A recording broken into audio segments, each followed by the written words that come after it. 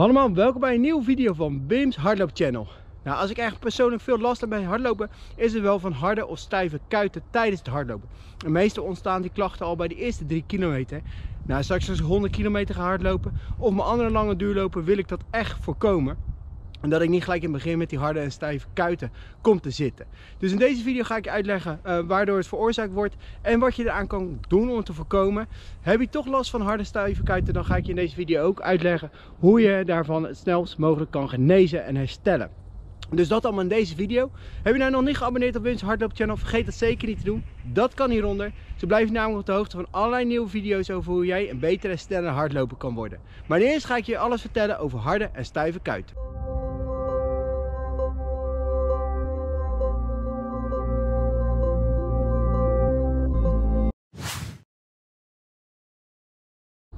Voordat ik je ga vertellen hoe je kan harde of stijve kuiten kan voorkomen of hoe je daar snel van kan herstellen, ga ik eerst die kuitspierfunctie uitleggen bij het hardlopen. Dus waar worden die kuiten nou meest voor gebruikt? Het is eigenlijk twee dingen. Dat is voor het afzetten, dus als je aan het voortbewegen bent, elke stap die je zet gebruik je je kuit. Maar ook uh, de landing, dus als je voet weer op de grond komt, dan uh, doet je kuitspieren die klap opvangen. Nou, je zou misschien denken dat de, de kuiten, het meeste van de kuiten wordt gevraagd bij het afzetten, maar dat is dus niet zo. De meeste spanning komt op je kuit te staan bij die landing. Dus elke landing die je zet, komt er echt een flinke belasting op die kuitspieren te staan.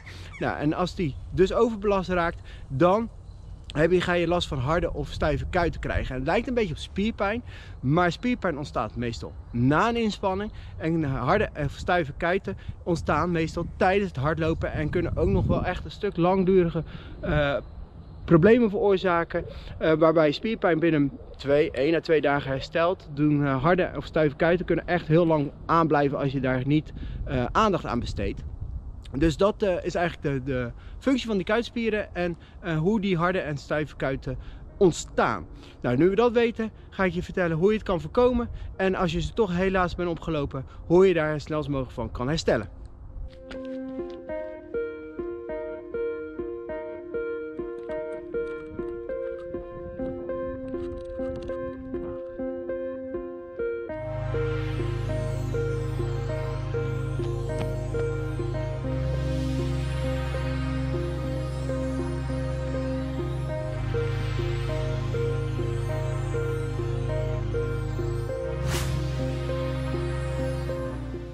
Voorkomen is natuurlijk altijd beter dan genezen. Dus je wil voor altijd voorkomen om die harde en kuiten op te lopen. En vooral tijdens een hardloopwedstrijd of een lange duurloop wil je niet dat je in het begin gelijk al die harde of stijve kuiten oploopt. Want als dat het geval is, dan ga je nooit meer een lekker rondje hardlopen. Je zal altijd aandacht gaan naar die harde stijve kuiten. Natuurlijk kan je blijven doorlopen, maar het is geen lekker rondje. Dus je wil vooral niet dat het tijdens het hardlopen... Uh, ontstaat. Uh, dus hoe kan je het nou voorkomen? Nou, een aantal tips heb ik daarvoor. Eén uh, is eigenlijk door materiaal. Je kan uh, compressiekousen gebruiken. Compressiekousen zijn nou eigenlijk hoge sokken die drukken op, op je kuitspieren. Daardoor blijft de doorbloeding goed, maar worden ook de kloppen opgevangen die je bij elke stap zet. Dus daardoor krijg je uh, kuiten veel minder te verduren en kan het heel veel, veel meer verdragen. Nou, een compressiekous is één, maar een ander ding waar ik laatst tegenkom is carbon hardloopschoenen. Die is wel een dure investering, maar heb je veel last van harde of stijve kuiten, dan is carbon hardloopschoenen zeker een oplossing. Uh, die zorgen ook dat die klappen flink worden opgevangen door die carbonzol die erin zit. Waardoor je kuiten veel minder te verduren krijgen en dat je eigenlijk bijna geen last meer hebt van harde of stijve kuiten. Dus dat zijn eigenlijk twee dingen met materiaal wat je kan doen om het voorkomen van die harde en stijve kuiten. Maar dat is niet het enige. Een warming-up is ook belangrijk. Door een warming-up te doen worden die kuitspieren al wat warmer. Kan beter omgaan met de belasting, kan er meer bloed naar die kuitspieren gaan, eh, waardoor de afvalstoffen sneller uit je uh, kuitspieren gaan en de kuitspieren bij soepel. Dus door een goede warming-up te doen, raken die kuitspieren al een beetje gewend aan de inspanning en kan het dus ook meer verdragen tijdens het hardlopen. En daarnaast een hele belangrijke, langzaam opbouwen. En het probleem met die kuiten dat je die oploopt is dat, je te veel belasting op die kuitspieren gaat krijgen. En dan vooral uh, als je een intensieve intervalloop doet of een heuveltraining, dus eigenlijk heel veel uh, de klappen hoog worden, dan uh, krijg je je kuitspieren flink te verduren. En dan moet je dus langzaam opbouwen. Uh, dus probeer zo langzaam mogelijk, als je denkt van nou, nu gaat het goed, dan kan je weer een stapje extra doen, wat zwaarder maken je training. Maar ga nou niet gelijk denken dat je Usain Bolt bent en dat je volledige sprinten uh, kan doen. Want dan krijg je kuitspieren te veel te verduren, raakt het overbelast en krijg je last van harde of stijve kuiten. Dus door het langzaam op te bouwen voorkom je die vervelende harde of stijve kuiten.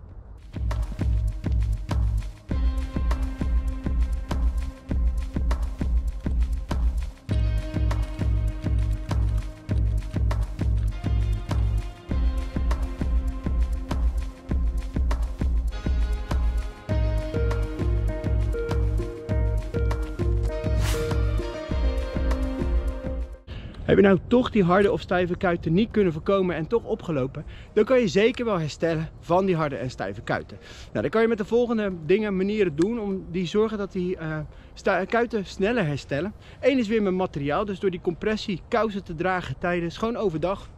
Dan uh, uh, worden je kuitspieren gestimuleerd, kunnen de afvalstoffen beter uit de kuitspieren, de voedingsstoffen beter erin, waardoor die kuitspier sneller herstelt. Maar dat is niet het enige. Uh, ook door het rekken helpt uh, om te zorgen dat die kuitspier wat soepel blijft. En uh, heb je een foamroller, rol dan met je kuitspier over die foamroller, zodat ook dit bloed zeg maar omloop tussen in die kuitspieren verbetert. Nou, hoe beter die is, hoe sneller dus die kuitspier herstelt. Daarnaast helpt krachttraining ook te zorgen om de omstellen van die harde of stijve kuiten af te komen. met krachttraining train je die kuitspier om sterker te worden. en daardoor voorkom je niet alleen harde of stijve kuiten, maar herstellen ze ook sneller. Dus dat is ook zeker een goede tip om sneller van die harde of stijve kuiten af te komen. Dus dat zijn een aantal tips om te zorgen als je ze toch helaas uh, bent opgelopen, om er sneller van af te komen, sneller herstellen, zodat je weer fris bij de volgende training staat en niet dat je, als je dan weer gaat hardlopen, weer in de eerste paar kilometers gelijk al tegen die harde en stijve kuiten oploopt. Dus met die tips herstellen je kuiten een stuk sneller.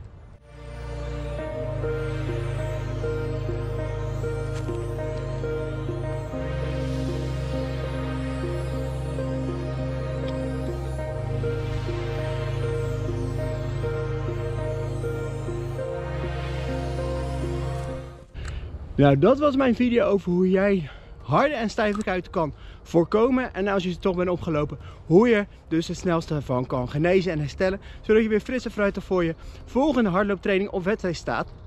En uh, heb je nou vaker last van dit uh, fenomeen of, of in ieder geval deze hardloopongemak, dan weet je wat je nu in ieder geval kan doen. Zodat je niet bij elke start gelijk alweer last hebt van die harde en stijve kuiten. En dat je dus, dus een lekker rondje kan hardlopen zonder dat je zorgen hoeft te maken dat die kuiten gelijk vollopen. Dus uh, dat waren in ieder geval mijn tips. Heb jij uh, uh, zelf last van harde kuiten? Laat dat weten in de reacties hieronder. En wat doe je eraan om er zo snel mogelijk af te komen? Ik ben heel benieuwd naar jouw tips. want misschien helpt dat mij ook straks want, richting mijn 100 kilometer. Want daar wil ik zeker niet die harde of kuit oplopen.